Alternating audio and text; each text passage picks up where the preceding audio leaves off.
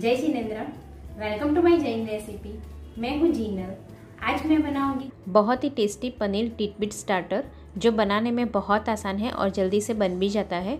और एक बार ये स्टार्टर खा लिया तो रेस्टोरेंट का स्टार्टर खाना तो भूल ही जाएँगे। तो चलिए बनाना शुरू करते हैं जैन पनीर टिटबिट स्टार्टर अगर आपको मेरी रेसिपी पसंद आए तो चैनल को सब्सक्राइब करिए और साथ ही बेल आइकन पे ज़रूर क्लिक करिए। उससे मेरी वीडियोस की नोटिफिकेशन सबसे पहले आपको मिलेंगी।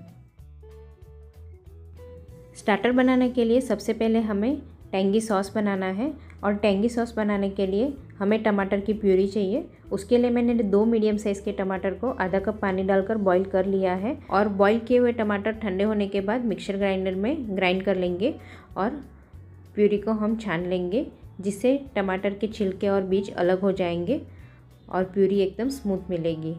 देखिए, छान लिया है और आप देख सकते हो कि टमाटर की प्यूरी बन के रेडी है और ये करीब एक कप जितनी प्यूरी है। अब टेंगी सॉस बनाने के लिए पैन में एक टेबलस्पून ऑयल डाल देंगे और ऑयल हल्का गर्म होने के बाद 10 से 12 कटे हुए बेसिल लीव्स डाल देंगे और इसे स्लो फ्लेम पर हल्का सौते करेंगे। अब इसमें जो हमने टमाटर की प्यूरी बनाई थी वो ऐड कर देंगे और एक बार अच्छे से मिक्स कर लेंगे ध्यान रखना है कि बेसिल लीव्स जलने नहीं चाहिए और गैस की फ्लेम स्लो टू मीडियम रखेंगे।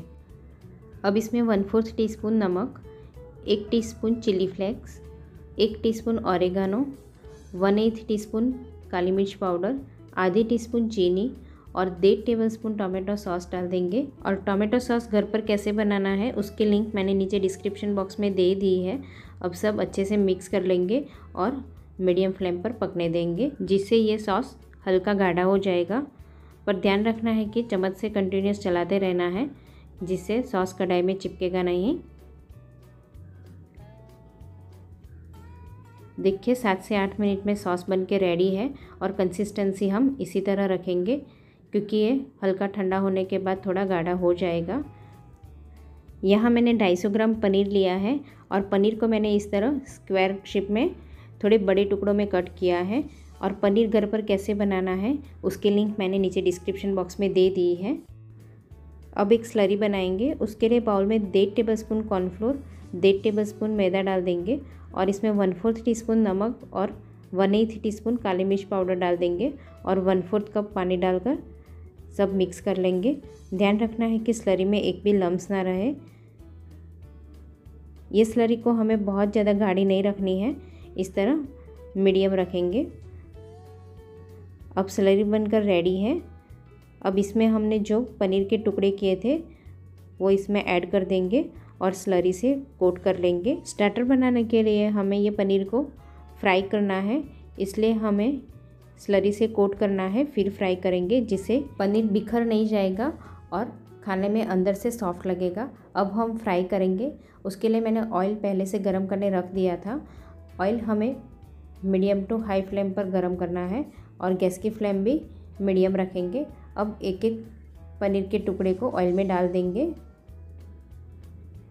और मीडियम फ्लेम पर फ्राई करेंगे। पनीर के टुकड़े ऑयल में डालने के बाद 30 टू 40 सेकेंड के लिए ऐसे ही रहने देना है। फिर हम साइड चेंज करेंगे। अब पनीर के टुकड़ों को हम पलट पलट कर फ्राई कर लेंगे। फ्राई करने वक्त पनीर के टुकड़े इस तरह एक दूसरे को चिपक जाते हैं। पर हल्का ठंडा होने के बाद ये हम सेपरेट कर लेंगे। देखिए, सारा पनीर मैंने फ्राई कर लिया है और सारे टुकड़ों को मैंने अलग भी कर दिया है। अब हम स्टार्टर बनाएँगे। उसके लिए पैन में एक टेबलस्पून ऑयल डाल देंगे और ऑयल हल्का गर्म होने के बाद एक स्पाइसी हरी मिर्ची को इस तरह लंबी कट करके सौते करेंगे।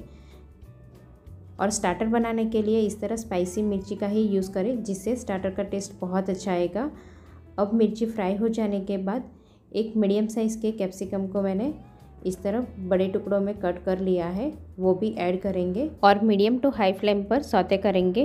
कैप्सिकम को हमें स्लो फ्लेम पर सौते नहीं करना है, नहीं तो कैप्सिकम नरम हो जाएँगे, इसलिए हमें मीडियम टू हाई फ्लेम पर ही सौते करना है, जिससे कैप्सिकम में हल्का क्रंची रहेगा।